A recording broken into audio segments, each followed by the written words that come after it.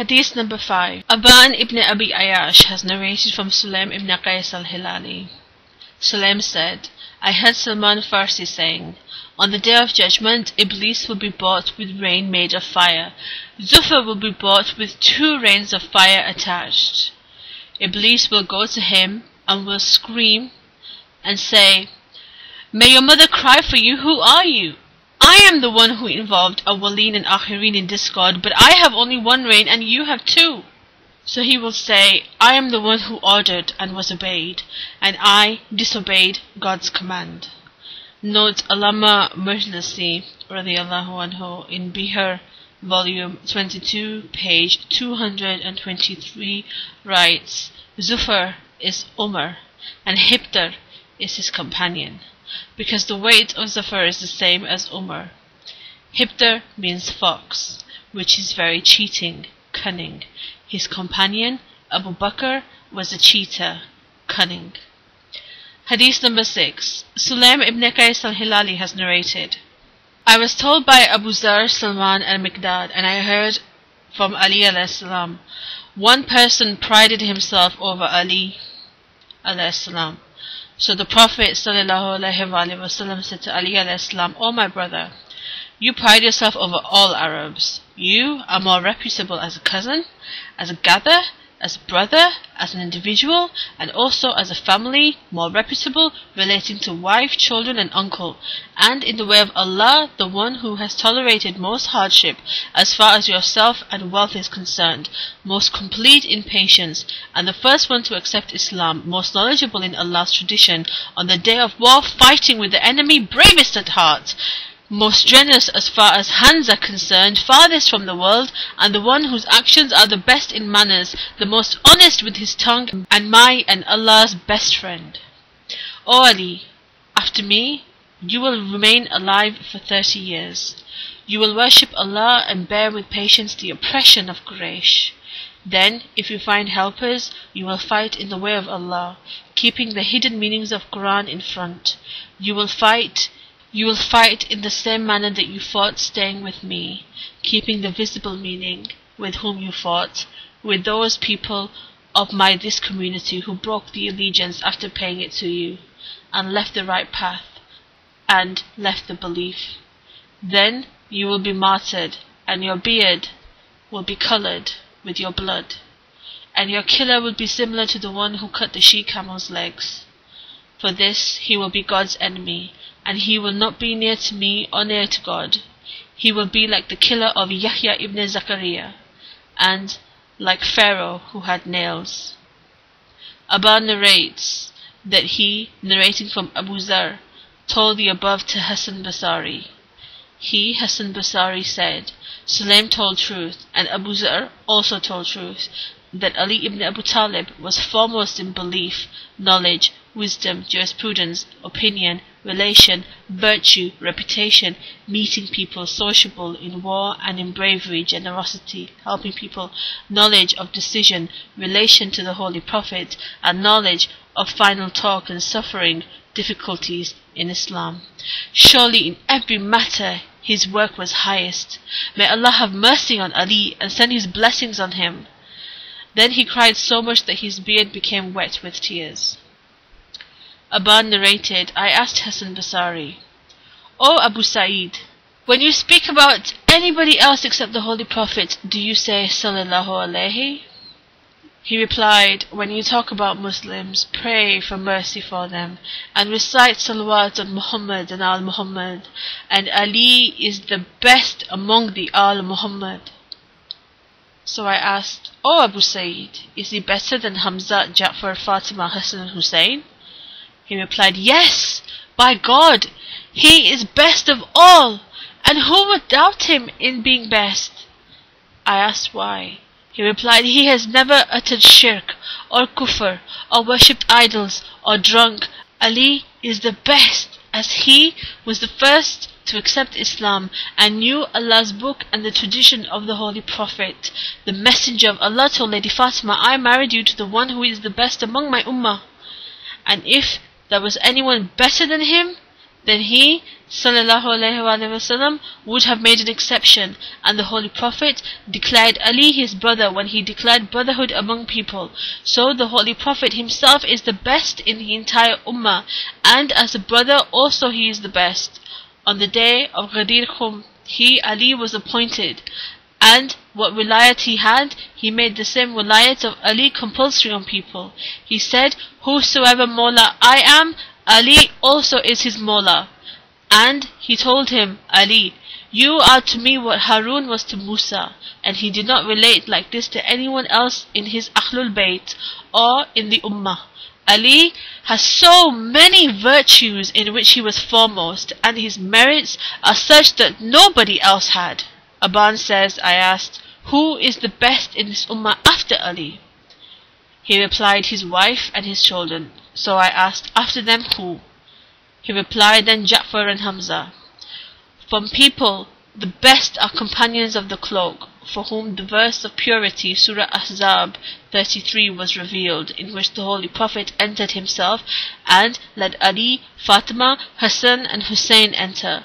Then he said, These are my trusted ones, and my family. Allah has kept all evil away from them and has purified them in a manner that they deserve to be purified. At that time, Umm Salma requested to be let in along with the Holy Prophet and them under the cloak. The Holy Prophet told her, O Umm Salma, you were on the right path, but this verse is revealed for me and them specially. I said, Allah, O Abu Sa'id, what you say about Ali and what I heard you saying about them. He said, O brother, I am saving my blood from these forceful tyrants. May Allah curse them. O brother, if it was not that, then the stick would lift me, would be hanged. But I am saying that you heard, so that when this matter reaches them, they will stop. And what I say in enmity towards Ali is an Ali apart from Ali ibn Abi Talib, so that they think I am enemy of Ali. Allah says, repel evil by what is best. We know best what they describe. Surah Mu'minun 96, which means taqiyya. Hadith number 7. Aban narrated, he heard from Sulaim, who said, I heard Ali ibn Abu Talib salam say, the Ummah will be separated in 73 sects, of which 72 will go to hell and one will go to heaven. From the 73, 13 will show their love towards us, Ahlul Bayt, from which one will go to heaven and 12 will go to hell. The sect which will be saved will be the one which is guided which is hopeful, which has iman, obeys command, bows his head, is agreeable and intelligent. It is he that trusts me and bows his head to my command, obeys my command, chooses to keep away from my enemy, loves me, keeps enmity with my enmity, has recognized my rights and imamat, and has realized my obedience compulsory through the Book of Allah and the tradition of the Holy Prophet, and has not become an apostate, and has not doubted, because Allah has enlightened his heart with the knowledge of our rights, and has recognized our merits, and all this has sunk into his heart, and it is written on his forehead. Allah has entered him in my shias until his heart is satisfied, and has developed surety, yaqeen, that there is no doubt included. Surely I and my Awsiya after me till the day of judgment will guide and are guided, and are those whom Allah has shown through a lot of verses of Quran to be nearest to Him and His Prophet, and has made us pure and infallible, and has made us witness for His creation, declared us Hujjat, authority on his earth, made us a treasure of his knowledge, minds of his wisdom, translators of his message, kept us with the Quran, and kept the Quran with us. We will not separate from it, and it will not separate from us until we reach the heavenly fountain of the Holy Prophet, as he has said, and this is the one sect out of the 73 that will be saved from hell and will be saved from discord, misguidance, and doubts, and this surely is from the dwellers of heaven, and these are 70,000 who will enter heaven without being questioned. as seventy-two sects have chosen false deen and are helpers of the deen of shaitan and have taken that deen from shaitan and its friends.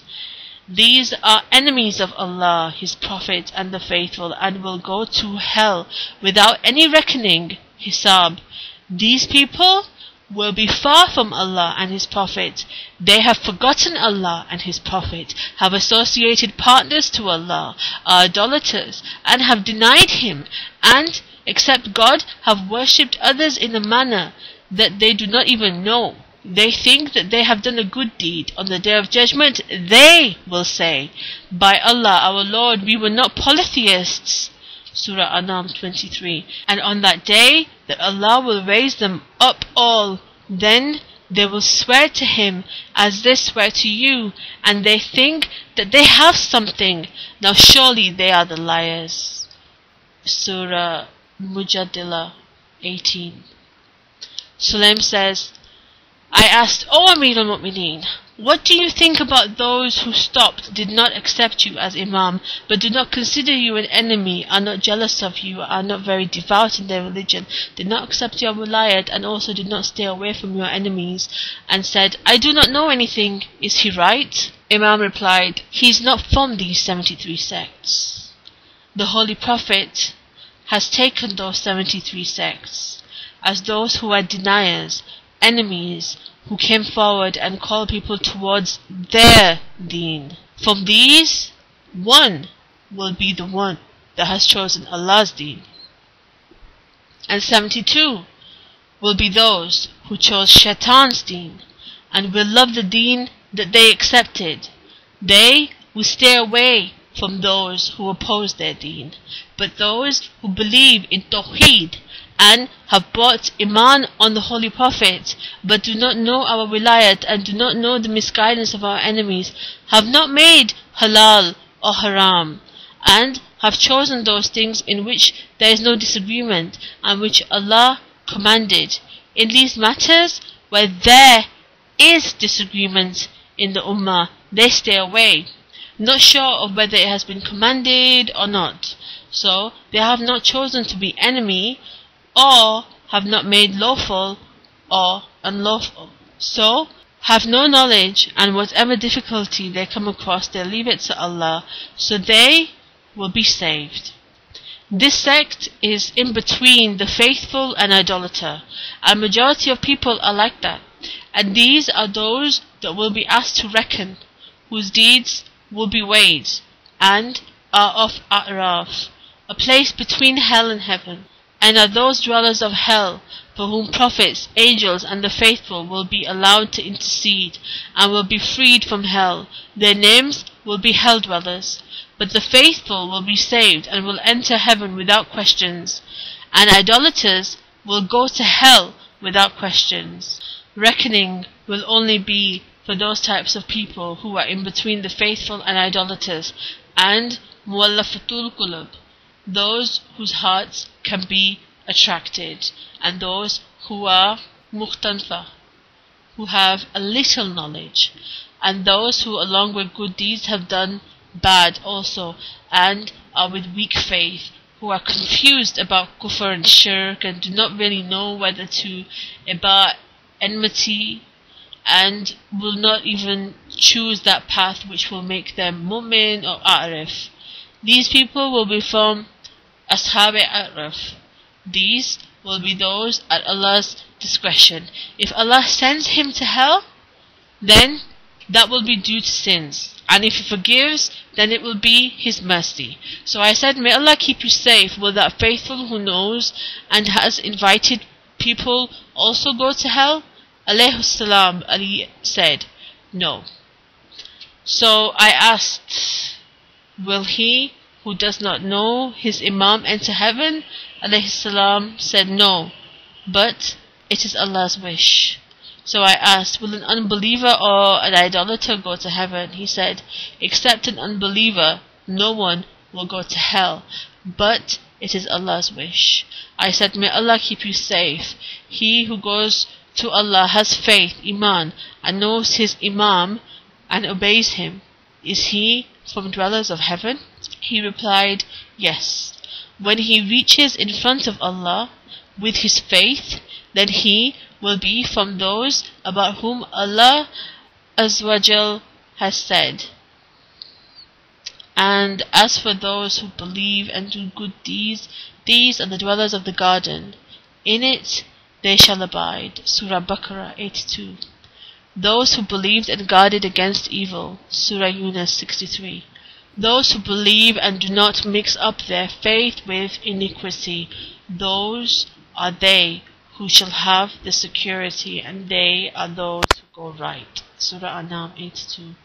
I said, if one goes to Allah with gunah kabira, great sin, he replied, it is up to his wish and discretion. If he is punished, that will be due to his sin, and if he forgives, then that will be his mercy. I asked, will Allah send the faithful to hell also? Yes, he said, due to his sins, since he is not from those faithfuls whom Allah has related in this verse. Most surely the nearest of people to Ibrahim are those who followed him and this prophet, and those who believe, and Allah is the guardian of the believers. Surah Al Imran 68.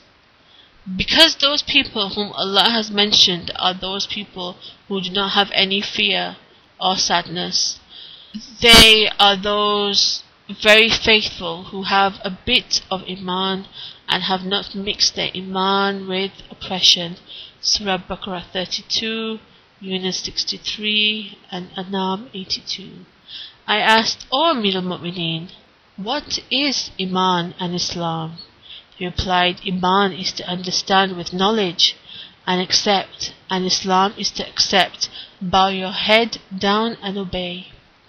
I asked, Does Iman mean to accept after knowledge, manfa? He replied, He whom Allah has given knowledge about him, his Prophet and his Imam, then he has accepted obedience to Allah. He is a mu'min.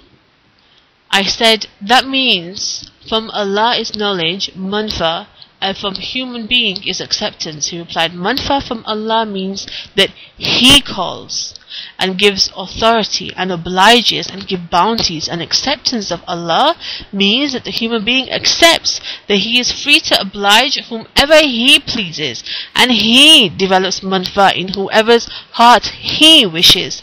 Acceptance is among the works of heart and Allah keeps safe whomever he wishes and blesses whomever he wishes and whomever Allah does not make arif he does not have any authority and it is compulsory for him to refrain from what he does not know, and Allah will not punish him for his ignorance, and will praise him for his act of obedience, and will punish him for his disobedience. He who is not arif will have ability to obey or disobey. He cannot remain ignorant when he knows that is impossible. And there is nothing that can happen without Qada and Qadr, fate and destiny, without knowledge and book, without any force. Because if people were helpless, then they would be blameless, and they cannot be praised. He who is ignorant has possibility of returning what he does not know to us, and he who praises Allah for his bounties and repents for his sins and befriends the obedient and praises him for obedience and will bear enmity towards disobedient and not praise him, then it is sufficient for him to turn his knowledge towards him. Note, the book mentions that what follows over leaf may not be continuation of this hadith as the original book says. They will be questioned. From them, some will be forgiven and will enter heaven due to their acceptance of Tawheed, and there will be some who will be punished in hell, and after prophets, angels, and the faithful will intercede for them, these people will be taken out of hell and entered into the heaven. But their names will be people of fire, and in them will be those who accepted and balanced Mizan and reckoning Hisab will be for these people. Because the friends of Allah who know Allah, His prophets and Allah's authority, Hujjat on this earth, and those that are witness over His creation and obey them, these people will go to heaven without any questions. and those who bore enmity towards them and threatened them were proud and bore enmity were Allah's enemy will enter hell without questions. Those that are in between these two, majority will be like that. And these are the ones whom there is the scale, questions and intercession. These are Ashab Mizan, Hisab and Shafa'at, companions of scale, reckoning and intercession. I said, You have taken away my trouble, given my heart contentment. Please pray to Allah that He mm-hmm. keeps me a friend of yours in this world and the hereafter. He said, O Allah, make him amongst the friends. Sulaim says, Hazrat Ali salam then turned towards me and said, Why don't I tell you something that I have heard from the Holy Prophet, which he told Salman, Abu Zar and Miqdad? I said, Yes, O Amir al-Mu'mineen. He said, Recite ten times. Recite ten times, Allahumma, بأسني, أعلى, إيمان إبك, والتصديق بمحمد رسولك والولاية لعلي ابن أبي طالب والاتمام بأئمتي من آل محمد فإني قد وريت بذلك I said, O Amir al-Mu'mineen, this has been told to me by Salman, Abu Zar and Miqdad, and I have not missed since they told me. He said, Until you are alive, do not leave this. Hadith number 8. Aban ibn Abi Ayyash narrates from Sulaim ibn Qais. I heard Hazrat Ali salam saying, when a person asked him a question concerning Iman, faith, the person said, O oh, Amir al-Mu'mineen, please tell me about Iman. After you and except you, I will not ask this question. Hazrat Ali salam said, A person came to the Holy Prophet and asked a similar question to him, like the one you have asked me. He said a similar thing to yours. Then he Ali al-Islam started telling and then told him, sit down. The person said, I have accepted Iman. Hazrat Ali turned to him and said, Don't you know that Archangel Jibreel came to the Holy Prophet in the form of a human being and asked him what Islam is? The Holy Prophet replied, To bear witness that there is no God except Allah and Muhammad is his Prophet, to pray, salat, give alms, zakat, visit the house, hajj, to fast during the month of Ramadan, and to have ritual bath. Then he asked, angel asked, What is Iman? The Holy Prophet replied, To believe in Allah, His angels, His book, His prophets, life after death, Qadr of faith, whether it be bad or good, sweet or sour. When the human being got up, the Holy Prophet said, This is Archangel Jibreel, who came to show you your deen. So when the Holy Prophet said anything, Archangel Jibreel said, You said truth. The Archangel asked when the day of judgment would be. He, sallallahu alaihi wasallam, said, The one who has been asked does not know more than the one who has asked. Then Jibrail said, You said truth. After telling the conversation of Jibrail, Ali said, Be aware, Iman has four pillars. Yaqeen, Sabr, Adl, Jihad. Belief with surety, patience, justice, and fight in the way of Allah. There are four branches of yaqeen eagerness, fear, not too much love for this world, and hope. So he who is keen to go to paradise will separate himself from desires of one's self, and he who fears hell will stay away from forbidden acts. One who does not love this world too much will have troubles made easy, and one who hopes for death will be quick in doing good. Sabr has four branches to think intelligently, to understand the meaning of wisdom, to learn a lesson with knowledge and tradition of those from the beginning. So whoever thinks intelligently, his wisdom will be visible. Whose wisdom is visible, he will understand lesson. Who understands lesson will understand the meaning of wisdom.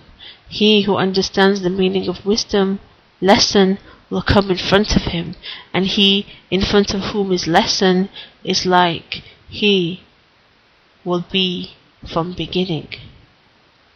Adl also has four branches, understanding in depth, in-depth knowledge, flowers of command, and garden of patience. One who has in-depth understanding will be able to expand on it. He who acquires knowledge will see laws of wisdom in front of him. He who acquires the garden of patience will not exceed in his work unnecessarily, and will live this life in a manner that people will praise him. Jihad also has four branches to command good and forbid evil, to act with honesty in all matters, to be angry for the pleasure of Allah, and to bear enmity towards evildoers. One who commands good will strengthen the back of a believer, and who forbids against evil will humiliate the evildoer. The one who is honest in all matters will fulfill his obligations. Who bears enmity towards evildoers and gets angry for the pleasure of Allah, Allah will be angry for him. This is faith, and its pillars and its branches.